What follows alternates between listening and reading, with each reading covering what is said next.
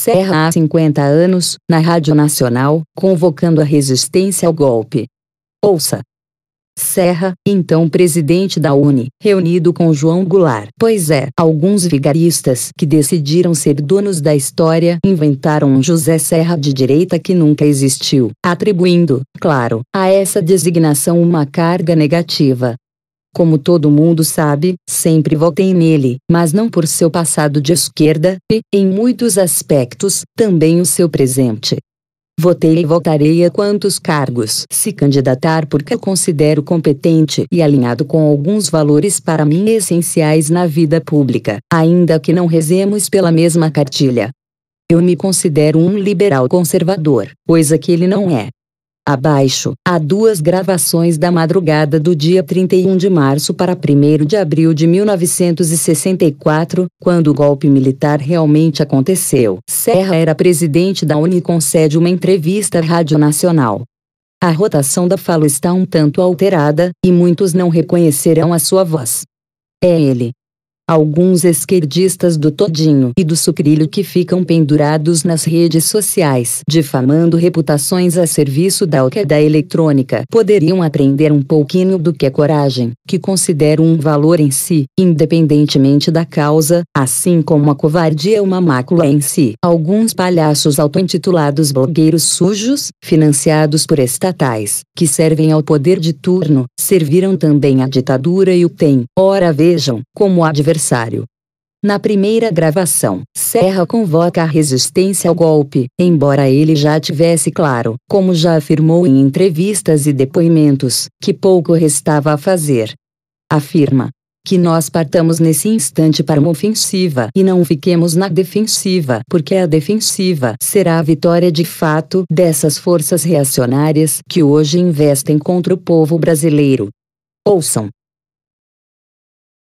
que se fez no comício do dia 13 foi a assinatura de decretos populares. Representavam deles um passo decisivo no monopólio estatal do petróleo. Um passo decisivo no sentido de se trazerem mais divisas para o país. E menos divisas saírem para fora. E menos ser o povo brasileiro espoliado. É isso que se assinou no comício do dia 13.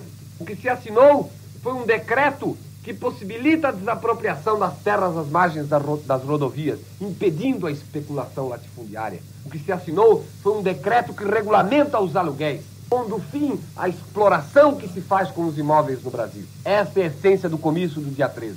E aqueles cujos privilégios foram ofendidos com essas medidas levantam então trazendo suas palavras de ordem mentirosas ao povo brasileiro, penetrando na casa de cada família, trazendo a mentira e a infâmia, usando a religião para resguardar os seus privilégios, se colocando inclusive contra figuras as mais dignas do nosso clero, como é o caso, inclusive, de sua eminência, o cardeal arcebispo de São Paulo, Dom Carlos Carmelo de Vasconcelos Mota, que dia a dia vem sofrendo as injúrias da imprensa reacionária de São Paulo e do Brasil. Estes, cujos privilégios foram ofendidos, vêm hoje nas ruas, vêm hoje à casa de cada família brasileira pregar a inversão da ordem que aí está.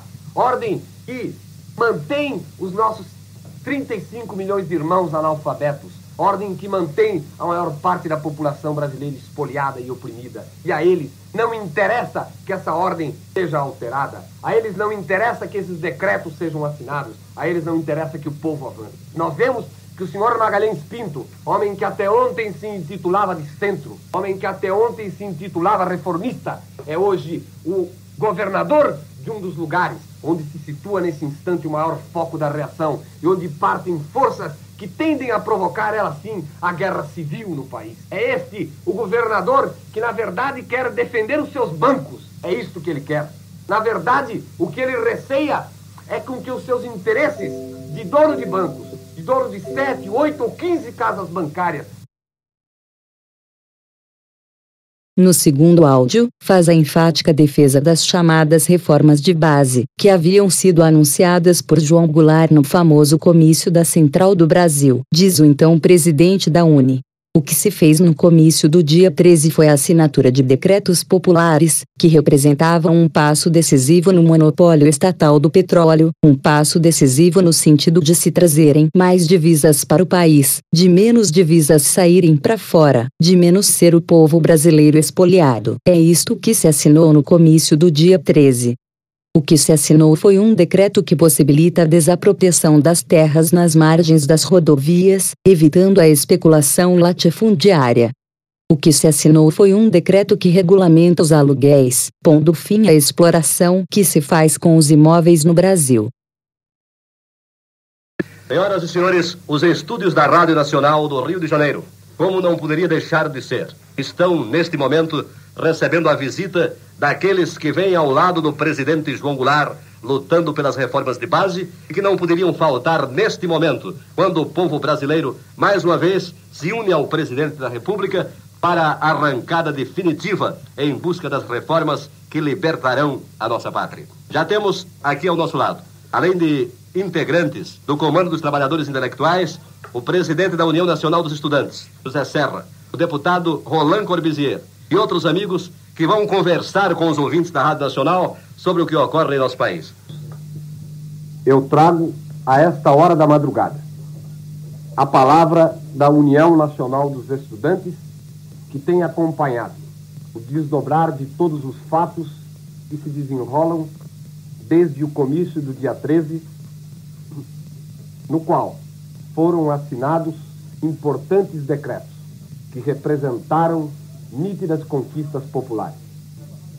A União Nacional dos Estudantes tem, através dos anos, uma tradição de luta democrática, que a colocou como entidade representativa de uma pequena parcela da nossa população. Pequena quantitativamente porque é privilegiada, mas de uma parcela que, compreendendo que deve este privilégio justamente a todo o povo que trabalha e que não tem acesso à cultura, coloca em todos os instantes ao lado desse mesmo povo. No dia de hoje, na Uni, nós tivemos oportunidade de assistir uma das mais significativas manifestações que até hoje temos visto. Com o prédio da nossa entidade situada à Praia do Flamengo, coberto por centenas de estudantes que para lá se dirigiram, se reunindo no seu auditório, manifestando sob a forma de ovação a todos aqueles que lá compareceram para trazer a palavra de ordem pela legalidade democrática, pelas liberdades democráticas, pela continuidade das medidas populares do presidente da República e pela mobilização contra o golpe da direita que hoje já se manifesta no país. Eu pediria licença, inclusive, para ler a nota que nós tiramos hoje à tarde. Retomo. É claro que o discurso tem de ser ouvido e compreendido à luz das dissensões daquele tempo. O resto da história, em seus aspectos mais gerais, é conhecido. Serra teve de deixar o país para não ser preso, exilou-se no Chile, foi colhido pelo golpe militar naquele país em 1973, foi preso, deixou o Estádio Nacional e rumou para os Estados Unidos. Retornou ao Brasil em 1977. Nunca pediu reparação oficial nem exercitou o discurso do rancor contra o passado. Como homem público, preferiu olhar para o futuro. Ainda bem. Por Reinaldo Azevedo